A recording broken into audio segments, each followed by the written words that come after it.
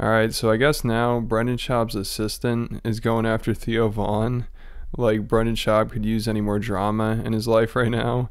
I guess this guy who works for him and works on the podcast, I think he's got his own podcast on the Thick Boy Network, so good for him. This guy, Mark Harley, who apparently was in the Hunger Games, or sorry, the Hungover Games. The Hunger Games is way too big for him. He was in a spoof movie of the Hunger Games, so it sounds like Brendan Schaub really likes to hang around these D-list actors who are in some really shitty spoof movies. Because Bryan Callen, he was in the 41-year-old virgin who knocked up Sarah Marshall and felt super bad about it but at least he was the star of the movie. This guy, Mark Harley, I don't even think he was a main character in the Hungover games.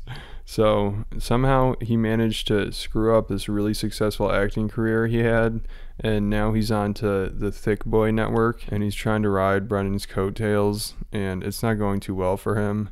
First of all, he spends a lot of time trying to defend Brendan on social media it's crazy. I think he commented on some of my videos, and also he's made a lot of Instagram comments that have just made Brendan look worse. And now he's going after Theo Von. Like, this probably isn't a good idea. This is Brendan's co host, and if him and Brendan split up, like if Theo goes against Brendan all of a sudden, that probably wouldn't be very good for Brendan's career because I'm sure Theo is a big draw for the podcast that they do together and he could just use all the help he can get from these comedians. Like if he burns a bridge with one of them, it's not good. Like the fact that him and Bobby are on bad terms, that's not very good. But at least he'll have this guy Mark. Maybe he could do a good job of replacing Theo.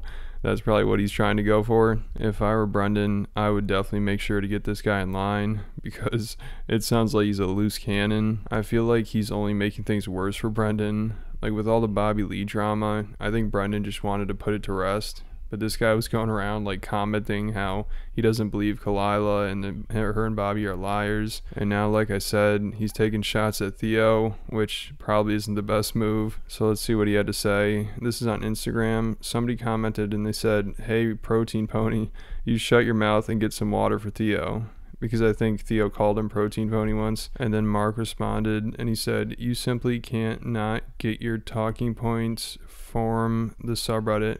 One original thought and capable, apparently. It sounds like this guy probably pays more attention to the Fighter and the Kids subreddit than Brendan because, I mean, I'm sure he's on there commenting and everything on burner accounts. And then he's also talking about it and he's always commenting on people's posts. And this guy, it just seems like he needs to take it easy a little bit. So then this person responded to him again. They said, Hey Mark, I have no idea what you're referring to, brother. I'm speaking of what Theo said on The King and the Sting. Thought you are on the SJOW. And then somebody said, Theo called you Protein Pony on cats. And then he responded and he said, No shit, dummy. And there's a reason he didn't say it to my face, isn't there? It was also immediately posted to Reddit because you're all obsessed. So it's hilarious that he's acting all tough here, like in some Instagram comments. I'm sure on the show he's probably polite to Theo, and if he's not, I bet he'd just get fired because it's not like he has a lot of weight over there. Even though now he's acting like it, he's like, yeah, he wouldn't say it to my face.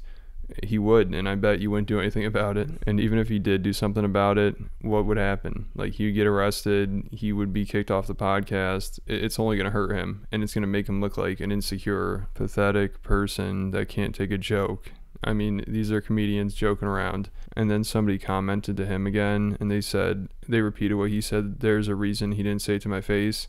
Yeah, he has emotional intelligence and can read your insecure teenage mentality on the spot.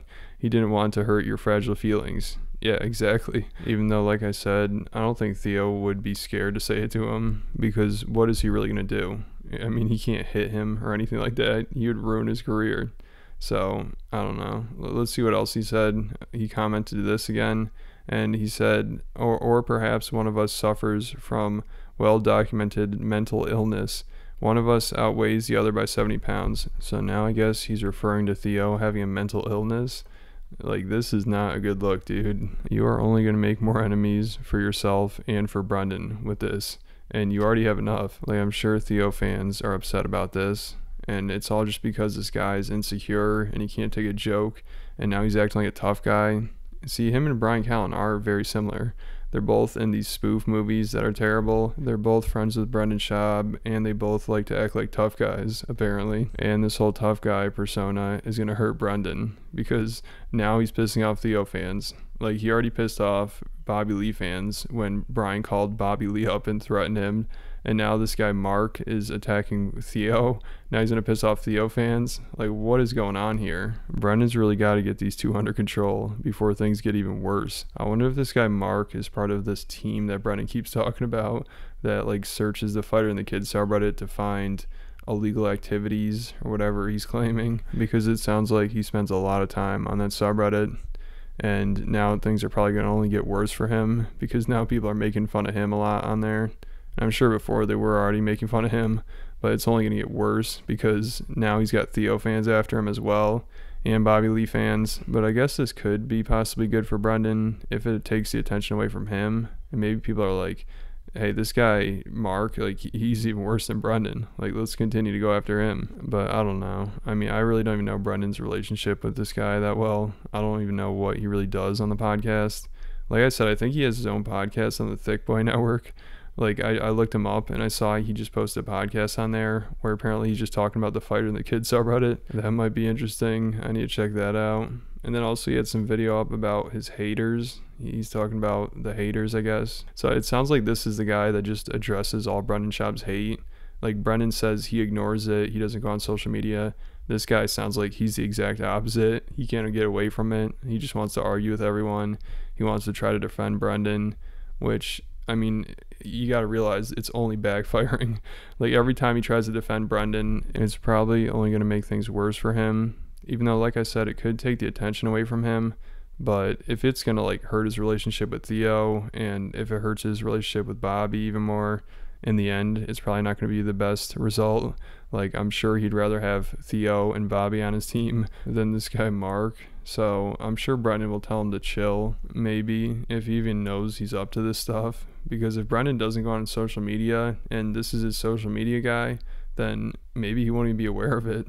Even though I'm sure hopefully Theo is aware of it and he could tell Brendan, like, hey, you should tell this guy to chill out a little bit because he's not making it any better for you. Brendan needs all the support he can get at this point. And if he's only starts to lose people like Theo, who is really important because people actually take him seriously as a comedian, if he starts to lose people like that, then it's not going in a good direction. So I guess it'll be interesting to see if this guy continues to go off on social media because it's only making things better or worse, I guess. It's making things better for me as like somebody who likes the drama, but it's making things worse for Brendan and his whole squad. So I don't know if he likes this kind of behavior, but we'll have to wait and see. So that's about it for this video. Thanks for watching. Make sure you hit the like button, leave me a comment, hit the subscribe button, and I'll catch you at the next video.